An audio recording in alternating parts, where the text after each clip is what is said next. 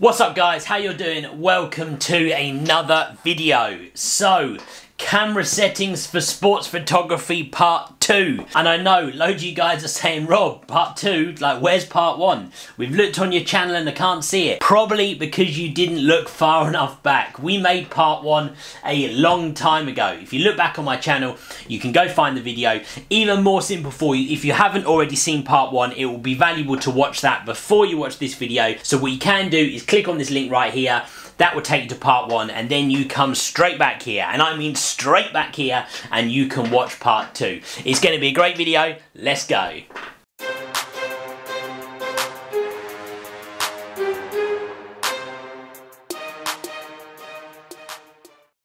So, camera settings for sports photography. I think it's going to be a useful topic for you guys. I've got loads of positive reaction off the back of part one. Just because we've had lots of other videos and bits going on, we just never really got to part two. So if you are glad to see part two here, take a second, go hit that like button. It helps me out loads on my channel and I really, really appreciate it because it helps my video to be more successful. So thank you for everybody who has taken a second to do that right now. I'm sure you all have. You'd be crazy not to. Hit the like button because liking his goodness. So in part one, lots of you guys who've seen that will already know, we talked a bit more about the basics of exposure. We talked about shutter speed, we talked about aperture, we talked about ISO levels. So I'm assuming at this stage you kind of already understand that. And just a very brief recap, we are now assuming that we're using a fast shutter speed because we know we need to. So let's pretend for this we're using a shutter speed of 1 12 50th of a second. We've got our aperture wide open. So for this we're going to be saying we're shooting at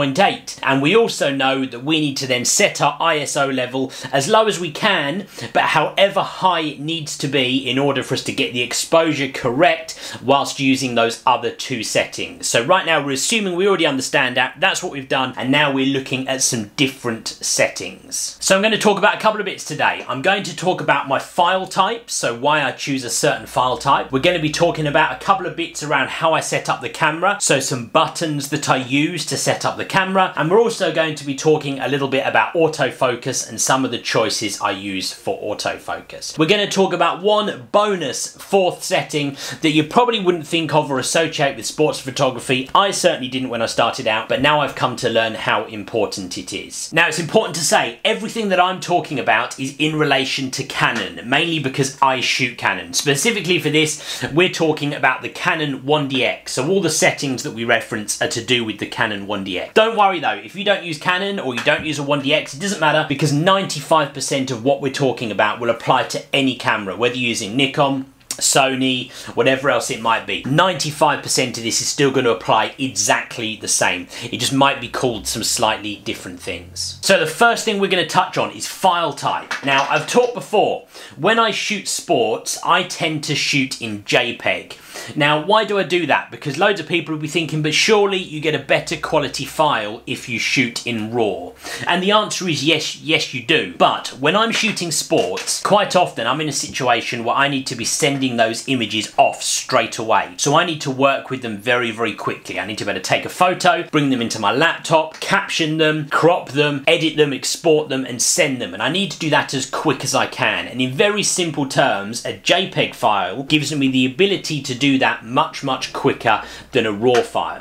If you wanted the best possible file, yes, RAW would be the way to go. And quite often, I will shoot RAW if I'm in a situation where I'm not having to send those images off. But if I am and I'm under a time pressure, then I shoot JPEG pretty much all the time because those files process quicker and they are easier and faster to work with. Now, with most cameras, you can still get a great quality file. In the menu, you'll normally have a choice of what kind of size or what quality of JPEG you want to shoot and I will always shoot with the largest JPEG possible in my camera. There's lots of different ones, the smaller ones, medium ones, and I always choose the larger one. That's the one that I shoot with when I'm shooting in JPEG. It does mean there's a bit more pressure to get your exposure and other things right in camera because you do have a little bit more uh, limitation on what you can do to edit that photo afterwards. You can't play with the white balance in quite the same way. Uh, you can't recover some of the highlights and things like that in quite the same way. So it's important to try to get the exposure right, but you can do that if you follow all those bits that we talked about in part one. So the next thing to talk about is some of the autofocus settings that I use. Now I've done a whole video on autofocus,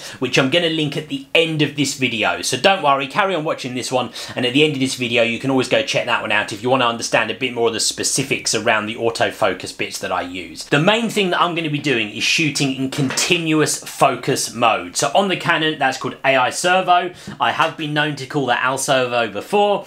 AI Servo, that is the continuous focus mode. I believe it's called something different on Nikon and the other cameras, but that's the mode you want to use, continuous focus. The reason you want to do that is because you will often in sports be photographing something that is constantly moving. And you don't want to be having to constantly refocus, refocus, refocus. So if you have the continuous focus set up and you track your subject, it will automatically focus for you again and again and again as that subject moves. The other thing that I will be doing is using the single point focus. Now, most cameras have the ability to set up like zone focus areas or little crosses in the middle or various different bits. I tend to use the single point focus and most of the time I've got that set to the center point on my camera. The reason I do that is because I want to be able to focus as specifically and precisely as I can on exactly the thing that I'm trying to focus focus on. So I find single point focus works better when you're trying to achieve that, especially when you're shooting something that's moving all over the place. You can focus on a player's chest or their face if they're close enough, and you can get that focus to be continuous combined with the AI servo mode. Now with autofocus, lots of people always ask me about the different case modes. Now if you're using a 1DX or a 7D2 or a couple of other Canon cameras,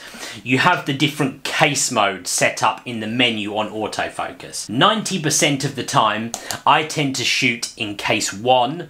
I know a lot of people tend to use case 4. Personally, I use case 1. Case 1 is described as the versatile multi-purpose setting. Case 4 is described as for subjects that accelerate or decelerate quickly, which of course applies to sports, but if you read the descriptions of a lot of the other cases, they pretty much all could apply one way or another. I find case 1 to be fairly versatile, and it works for me, so the majority of the time I am using case 1. I don't claim to be an expert with those cases, probably need to play around with them a little bit more in all honesty, but that's the one that I use at the moment. Another important point with sports is to make sure that you're using the mode on your camera where you take multiple pictures with one press of the shutter button. Now, on my Canon, I've got the option to go into the menu and I can move it from single shooting, high speed, continuous shooting.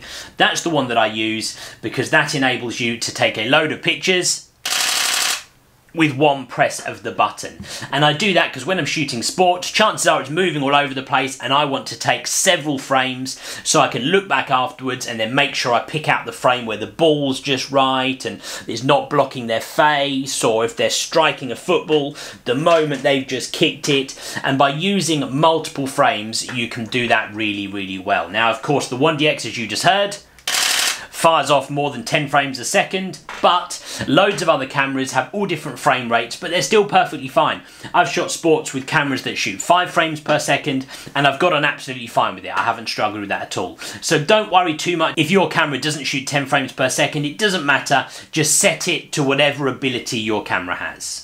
So, I talked earlier on when I talked about file types, I touched on white balance. Now, with white balance, there's some different ways you can do it. A lot of people will manually set their white balance at all different venues, and sometimes when I'm shooting at indoor venues where I know the lighting and the white balance is going to be consistent, I will do that. But even in those situations, you tend to have advertising boards or, or lighting or big screens that change all the time. They cast funny lights across courts and fields and everything everything else and it means the white balance is always changing. So what I tend to do for most of the time is I do use auto white balance. Now yes with a JPEG file you don't have the same ability to go and change it afterwards that you would do with a raw file but you can still tweak it. You can warm an image up, you can cool it down slightly if you've got a slight bit of yellow or a slight bit too much blue and that's something which you can still affect. So for 90% of my sports work I do shoot with auto white balance especially in situations where maybe I'm outside